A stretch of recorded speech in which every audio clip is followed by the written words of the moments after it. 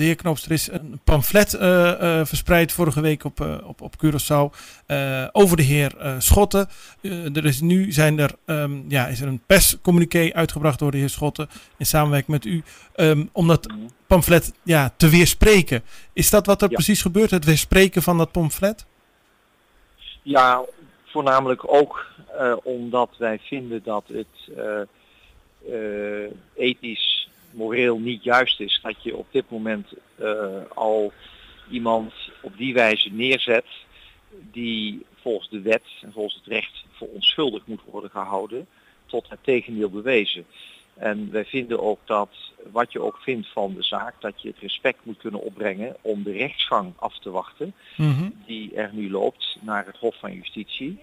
En uh, dat, dat betekent ook dat je uh, in dit geval dit soort uitspraken die in, die in dat pamflet zijn neergelegd, bij voorkeur niet zonder overigens dat je de feiten kent, de juiste feiten kent, dat je die uitspraken niet in de mond moet nemen en al helemaal niet in een pamflet aan de burgers van Curaçao uh, moet verspreiden die daardoor op het verkeerde been worden gezet. En dat is natuurlijk een uitermate kwalijke aangelegenheid mm uh, die zich hier voordoet. En ja, dat noodzaakt ons om eigenlijk om daar weerwoord te bieden.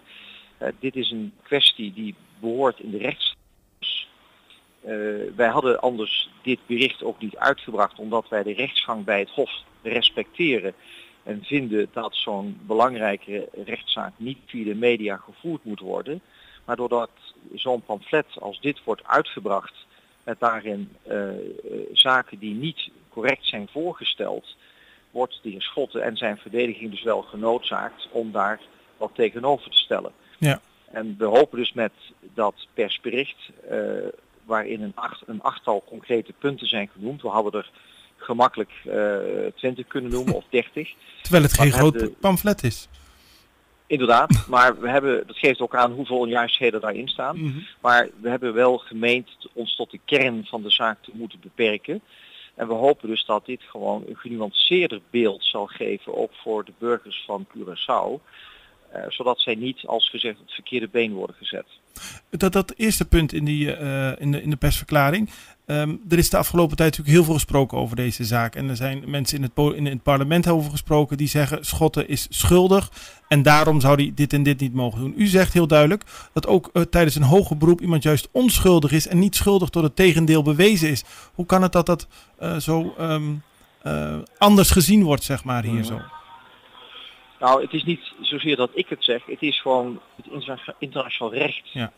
dat spreekt daarover. En ook het nationale recht gaat daarvan uit. Het is dus het recht dat zegt dat zolang iemand niet onherroepelijk is veroordeeld, dat wil zeggen de rechtsgang tot en met in ons systeem de Hoge Raad van Nederlanden, is zo iemand onschuldig. En het zal niet de eerste keer zijn dat in een hoger beroep of in een cassatieprocedure wordt vastgesteld dat een eerdere veroordeling onjuist is. Ja. Dat kan ook betrekking hebben op het feit dat er in hoger beroep nieuwe feiten aan het licht kunnen komen.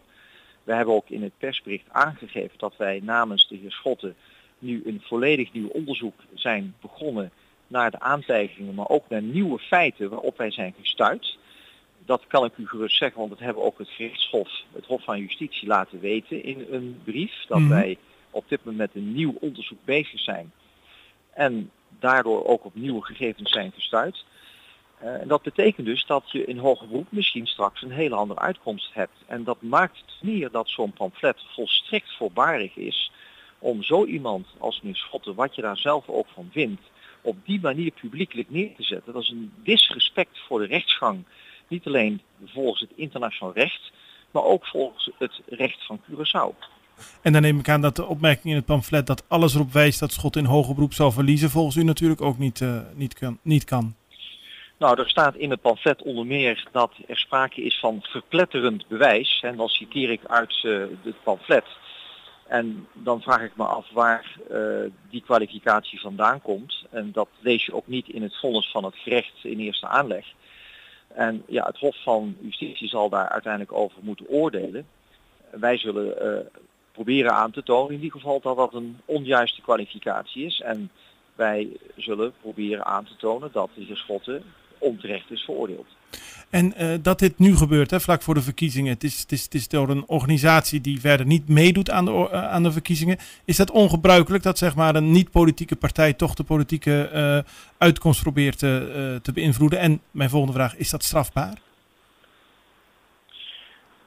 Nou, in Nederland komt dit gelukkig niet zo voor als in deze mate als we dat nu zien in de pamflet. Um, het is wel een zeer doorzichtige poging, denk ik, om hiermee het verkiezingsbeeld te beïnvloeden ten nadele van de heer Schotten en de Curaçaose burgers op het verkeerde been te zetten. Ik vind dat moreel ethisch uitermate verwerpelijk, omdat het ook naar de bevolking van Curaçao niet getuigt van respect.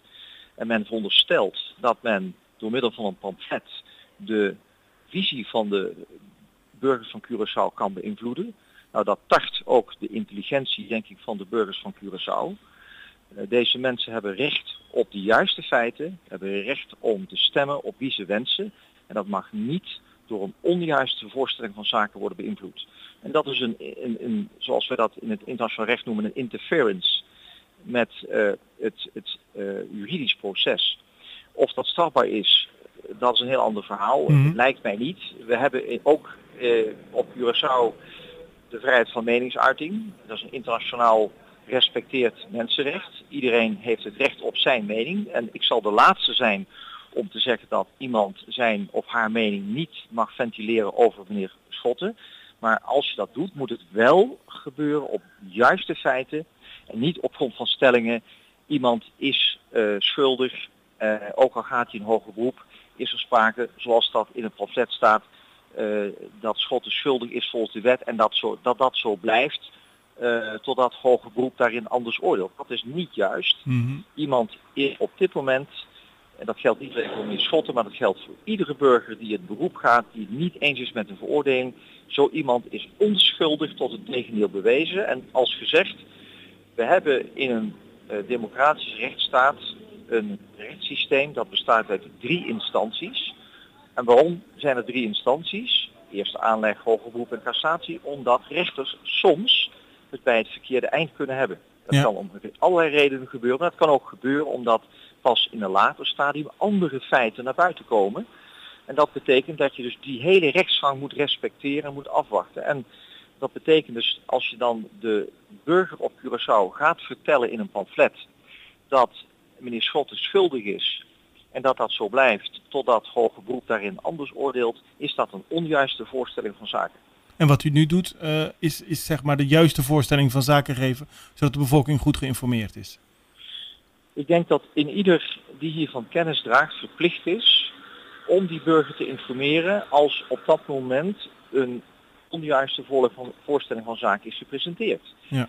En wij zouden in onze verplichting om te zorgen dat meneer Schotten een eerlijk proces krijgt, een eerlijke behandeling voor zaken in die plicht, als wij dit zouden laten gebeuren. Want ja. als je dit pamflet onweersproken laat, dan betekent dat eigenlijk dat er een onjuiste voorstelling van zaken aan de uh, Curaçaose bevolking wordt gepresenteerd. We hebben in het persbericht nog op een aantal andere punten aangetoond dat het pamflet uitgaat van aannames zonder dat daar een feitelijke fundering aan ten grondslag ligt. Maar dat pamflet gaat wel een eigen leven leiden en ja. mensen gaan wel in dat pamflet geloven. En dat betekent dus dat ook het kiesproces daardoor, het democratisch kiesproces daardoor, op een oneigenlijke wijze wordt beïnvloed. En dat mag niet gebeuren, want de burger van Curaçao heeft het recht om op juiste gegevens een keuze te maken op de juiste kandidaat. Op de